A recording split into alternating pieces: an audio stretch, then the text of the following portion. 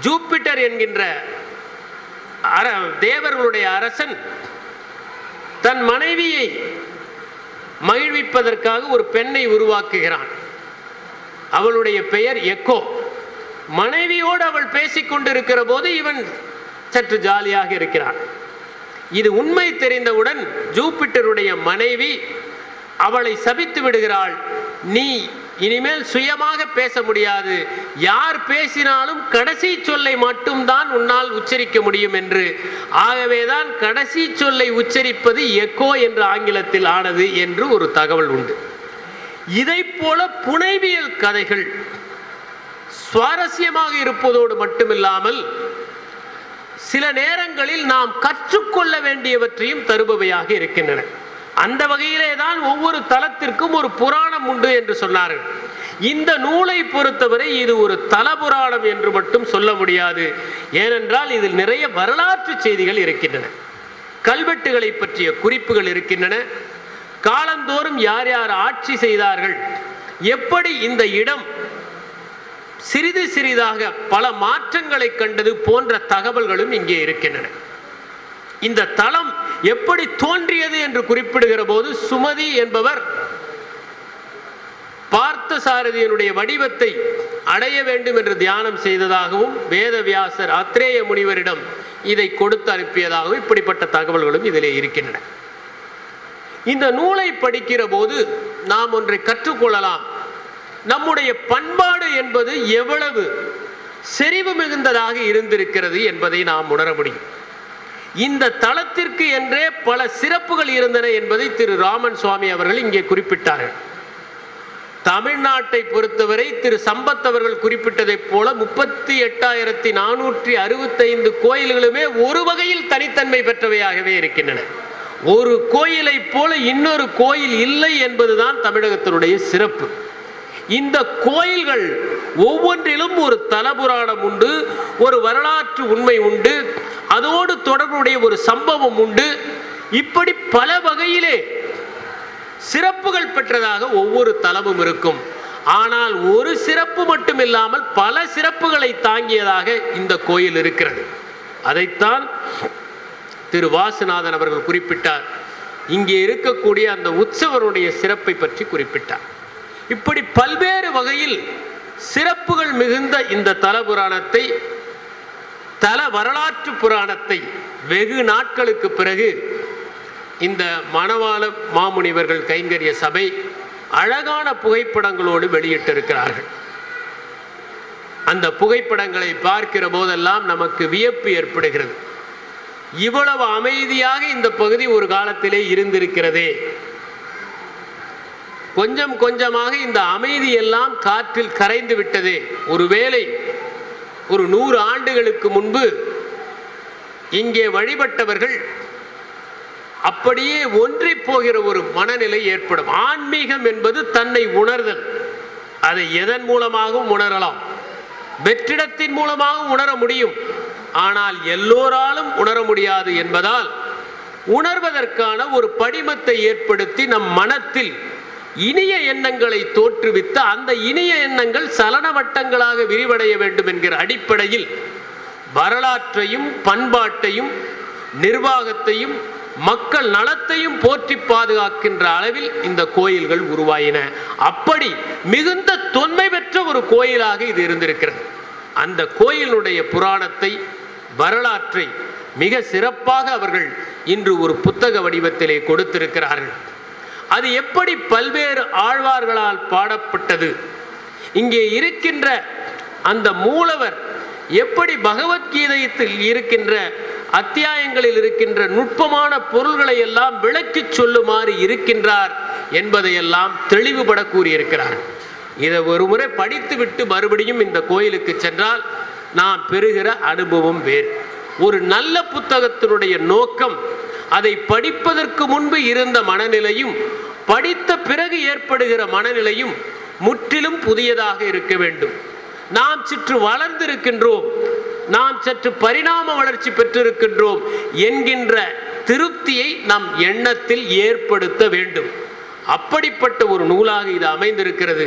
அதை வெளியிட்ட விதத்தில் கூட ஒரு புதுமையை அவர்கள் புகுத்தி இருந்தார்கள் நாங்கள் கூட இவ்வளவு பெரிய புத்தகம் ஒன்று செய்திருக்கிறார்களோ என்று பார்த்தால் அதை திறந்தால் அதற்குள் அந்த உண்மையான புத்தகமும் அதை சுற்றி சில ரோஜா மலர்களும் இருந்ததை நாங்கள் பார்த்தோம்.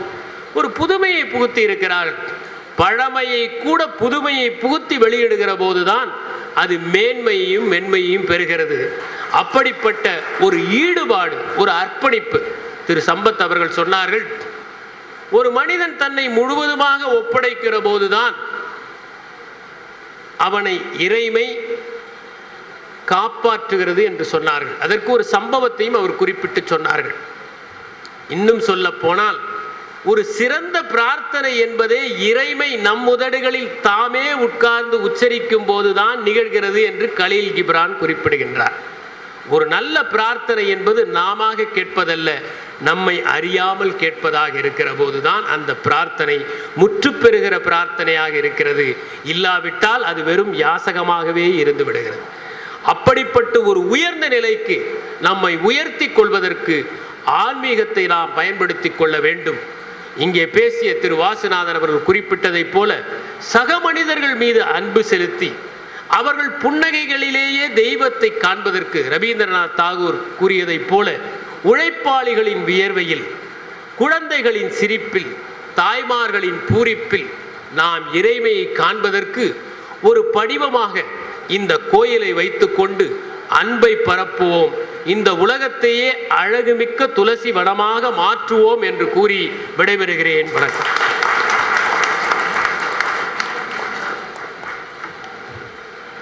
அடுத்ததாக சிறப்பு விருந்தினர்களுக்கு நினைவு பரிசு சபையின் சார்பில் வழங்கப்படுகிறது.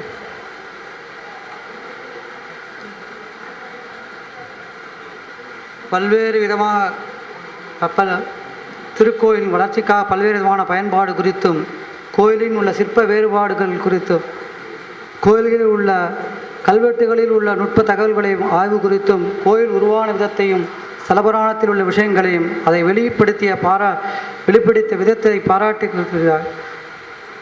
திரு ரே என்பவர்களுக்கு நன்றி தெரிவித்துக் கொள்கிறோம்.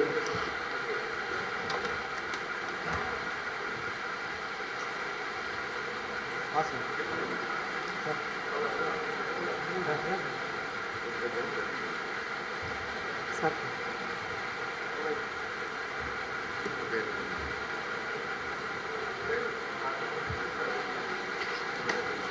அடுத்ததாக நூல் வெளிவர உதவியர்களை கௌரவித்தல். இந்த நூலை நல்ல முறையில் அச்சிட்டு கொடுத்த ஆர்என்ஆர் பிரிண்டர்ஸ் திரு ஜி ராஜன் அவர்களை கௌரவிக்குமாறு ஆணையர் அவர்களை கேட்டுக்கொள்கிறோம்.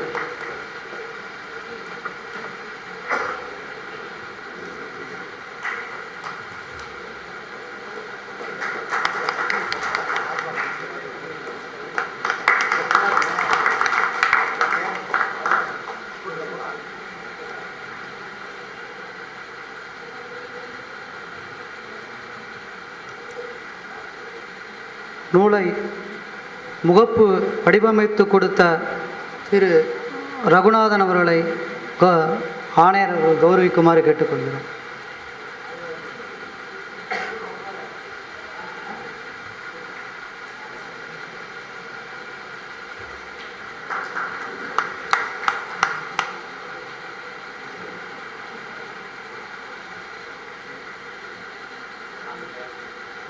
இறைவணக்கம் பாடிய குமாரி.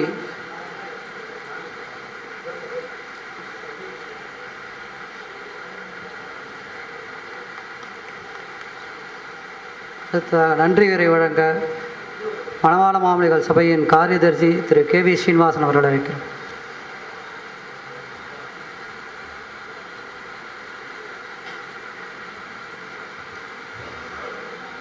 அனைவருக்கும் வணக்கம். இந்த வாய்ப்பை ஏற்படுத்திய எம்பெருமான் ஸ்ரீ பார்சாதி பெருமாளுக்கும் ஆச்சாரியன் மணவாள அவர்களுக்கும் என்னுடைய முதற்கண் கதக்கனை தெரிவித்து கொண்டு யாருக்கு நன்றி சொல்கிறதுன்னு ஆரம்பிக்கிறதுன்னு பெரிய குழப்பம் இல்லை. ஏன்னா கமிஷனர் எப்போ போனாலும் நமக்கு ரொம்ப சுலபமாக அவரை வந்து அப்ரோச் பண்ணலாம் ஃபோன்லேயும் பேசலாம்.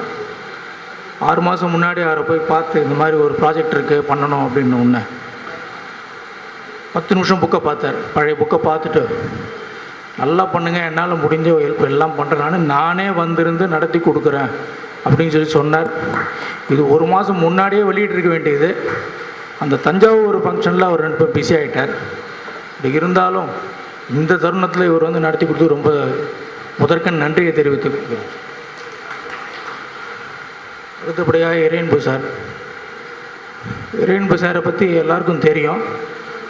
இவருக்கும் மணால மாமனிகள் கேங்கிற சபைக்கும் என்ன தொடர்பு? மணால மாமனிகளுக்கும் இவருக்கும் என்ன தொடர்பு?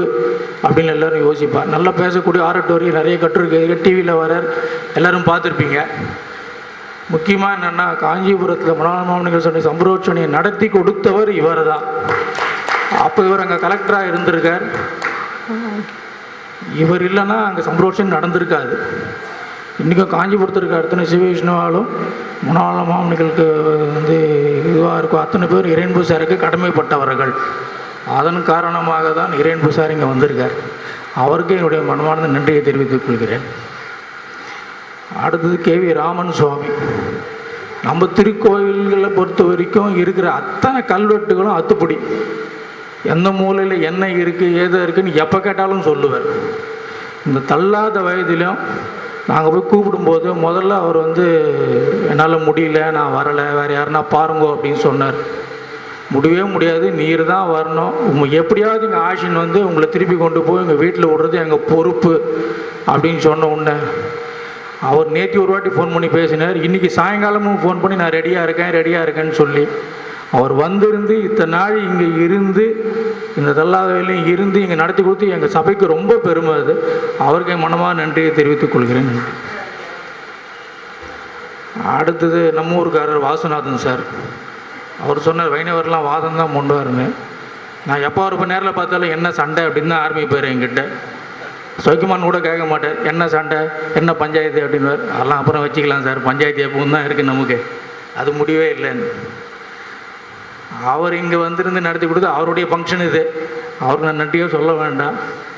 இருந்தாலும் அவர் வந்திருந்து முன்னாடியே வந்திருந்து நேத்தியே வந்து இங்கே எல்லா ஏற்பாட்டையும் பார்த்துட்டு இது இப்படி இருக்கணும் அது இப்படி இருக்கணும் எங்களுக்கு நல்ல ஆலோசனை சொல்லி அவர் அதை பண்ணி கொடுத்து ரொம்ப சந்தோஷம்.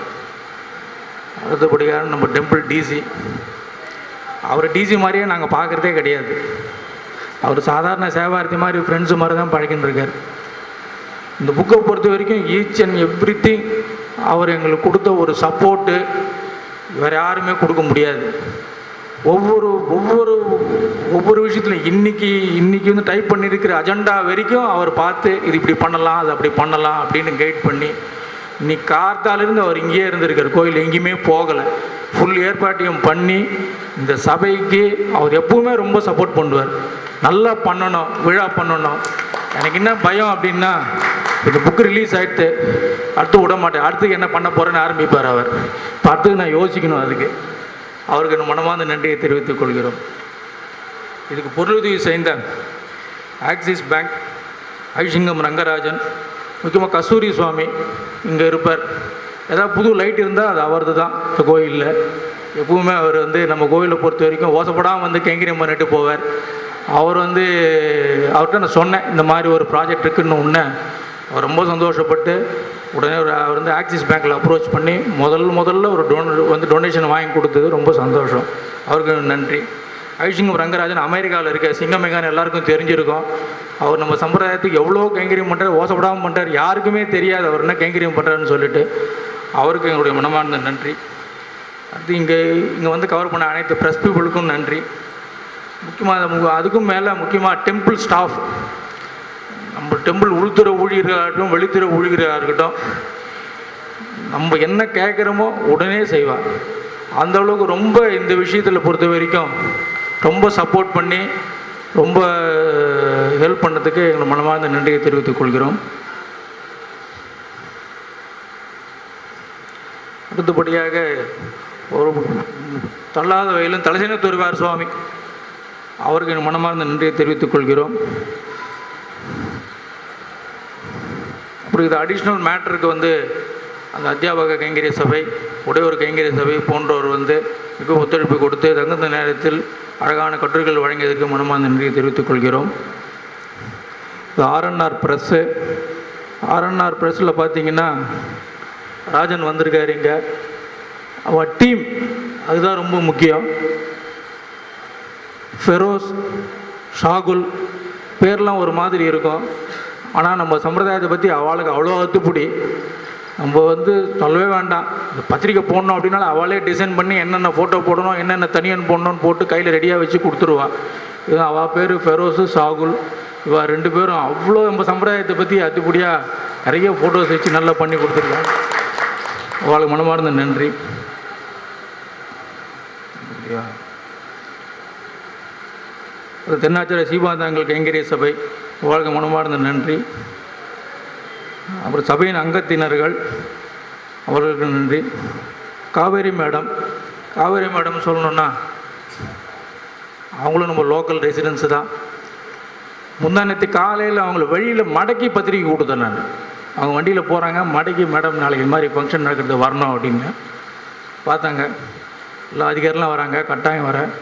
மேலே நம்ம கோயிலுங்க அப்படின்னு ஒரு வார்த்தை சொன்னாங்க. அந்த ஒரு ஈடுபாடு தான். அவங்களுக்கு மனமார்ந்த நன்றியை தெரிவித்துக் கொள்கிறோம். மற்றபடி அறநிலையத்துறை ஊழியர்கள் பல பேர் இங்கே வந்திருக்காங்க. அவங்களுக்கு மனமார்ந்த நன்றி. முக்கியமாக சந்திரசேகர் ஈஓ ரகுநாதன் ஈஓ ஏங்க ஒழியிறீங்க ஒழியாதீங்க. எல்லாருக்கும் மனமார்ந்த நன்றியை தெரிவித்துக் கொள்கிறோம்.